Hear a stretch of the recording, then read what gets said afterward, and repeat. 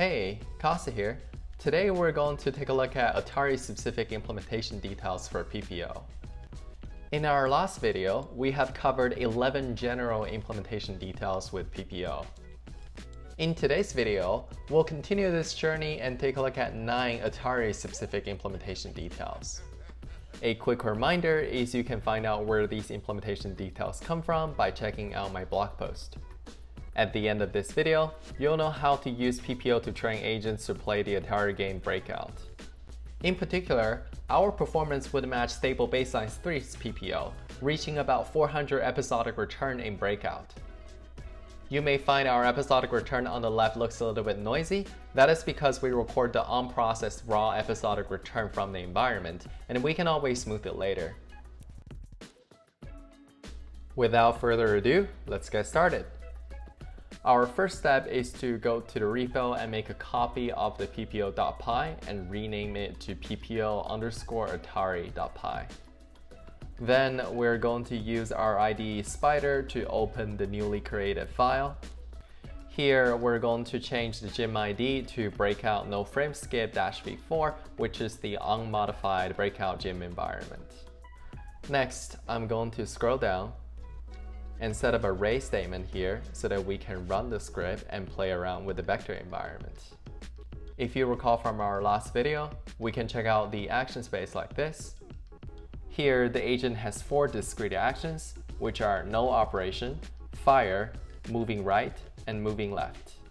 We can also check out the single observation space like this, and we see an observation is a 210 by 160 image with three channels.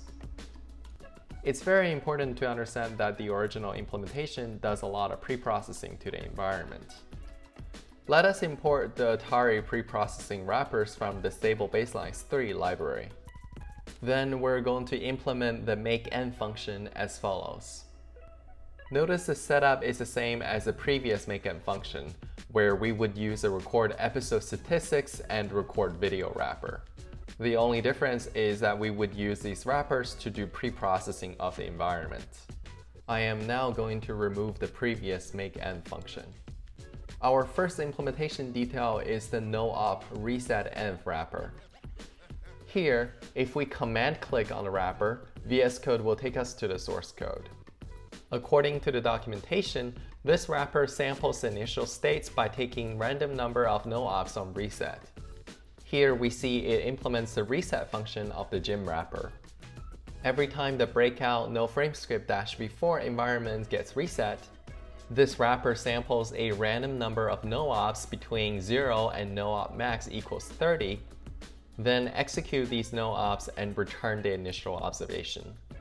According to the corresponding papers, this wrapper adds stochasticity to the environments.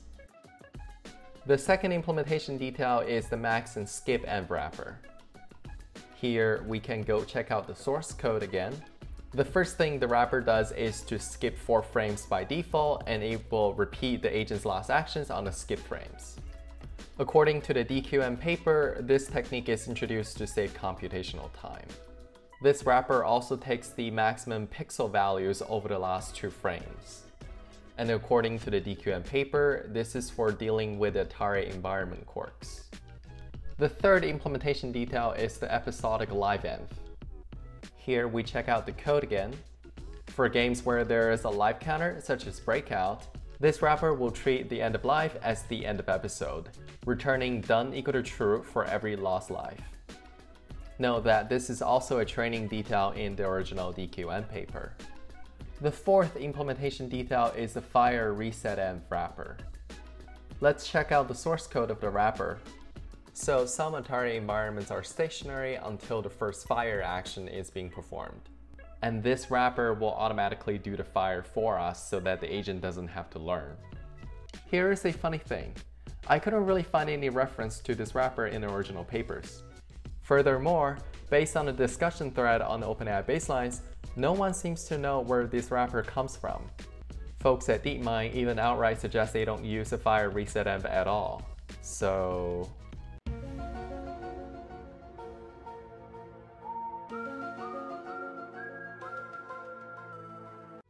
Our fifth implementation detail is the clip reward env. Here, we check out the source code again, and what this wrapper does is to clip the sum of rewards from the four skipped frames to the range of negative 1, 1. As suggested by the DQN paper, this wrapper helps deal with different reward scales from various games. The sixth implementation detail is the image transformation wrappers. It's a two steps process to convert the image to grayscale, then resize it to 84 by 84 as shown in the DQN paper. Note, the original implementation uses the warp frame wrapper to achieve the same purpose, but here we use these two wrappers because they play nicer with the gym's frame stack wrapper. Also, there is a minor bug with the resize wrapper and we need to apply it before the grayscale wrapper. The seventh implementation detail is the use of frame stack. Here, we use a frame stack wrapper to stack the four past observations together as a single observation. This technique is documented in the DQN paper, and intuitively, it could, for example, help the agent identify the velocity of moving objects. Let's test out this change on our Spider IDE. Here, we see the action space remains the same. However, the observation space now has a different shape. Here, we have an 84 by 84 image with four channels, or four stacked frames. The eighth implementation detail is a convolutional neural network from the DQN paper that is used to calculate the hidden features for the policy and value heads. If you recall our neural network setup, the actor and critic have their own respective networks. However, this could be a waste of computational power since the hidden layers are the same and only the output heads are different. To address this, let us create a shared network for feature extraction.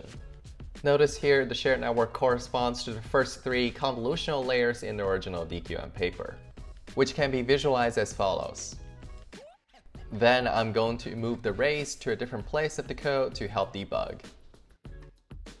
Here we can run the code, and when it's finished, we're going to check out the shape of the extracted features by doing agent.network nextobs.shape.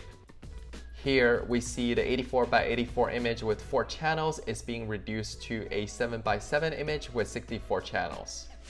Our next step is to flatten these extracted features and also create a linear layer that takes the input of the flattened features. At this point, the network outputs a hidden representation which we'll use for the actors and critics head.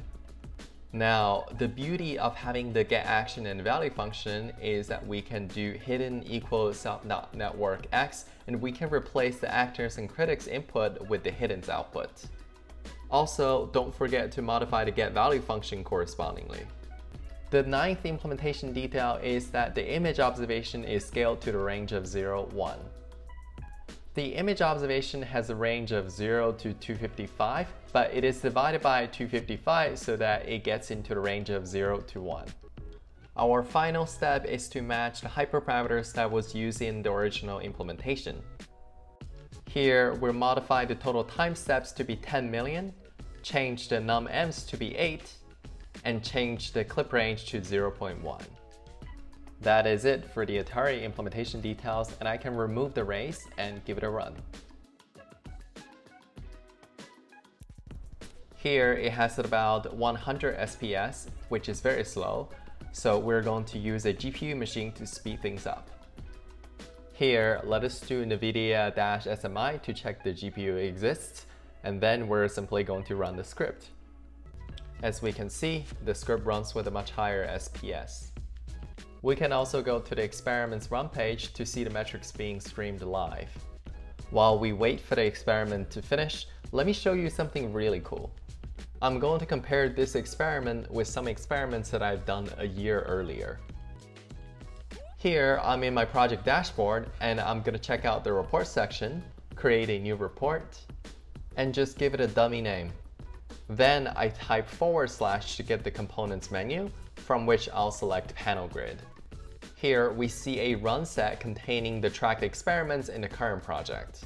But now I am going to deselect this run set, create another run set, and retrieve the experiments that I've been working on in a separate project. There are hundreds of experiments in this project, but I'm only interested in the PPO breakout related experiments, so I'm going to apply various filters. After this is done, I'm going to toggle the visibility for the past experiments. Then we create a panel and select line plot. I'm also going to change the default axis to global step, which is what we use to keep track of environment steps.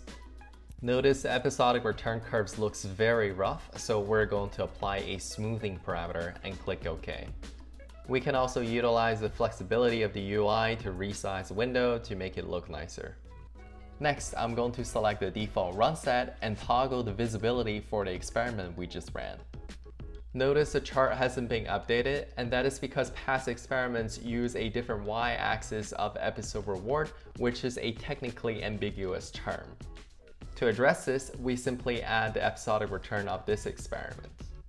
We have just joined experiments from two completely separate projects, and by zooming in, we can see the experiment we just ran is rapidly catching up with the experiments that I have done over a year ago.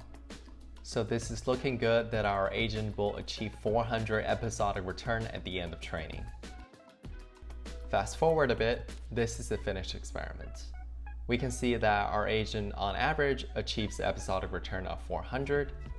Scrolling up, we can see the policy loss has this interesting arc shape and we can see the videos of the agents playing the game. By clicking on the download button located at the top right of the video, I get a pop-up window. In this window, we can see that our agent plays the game really well, achieving about 400 episodic return in the end. And by scrolling the slider to the beginning of the training, we see the agent's behavior is significantly worse. To sum it up our changes in PPO Atari.py, we first import the preprocessing wrappers from stable baselines 3, then modify the gym ID, total timestamps, non-mans, clip coefficient, then actually use these preprocessing wrappers, and finally change the neural networks. And everything else is the same. This concludes our video. Thanks so much for watching. If you have any questions, feel free to comment down below. I also encourage you to check out the links in the video description where you can find my source code and blog post on the implementation details.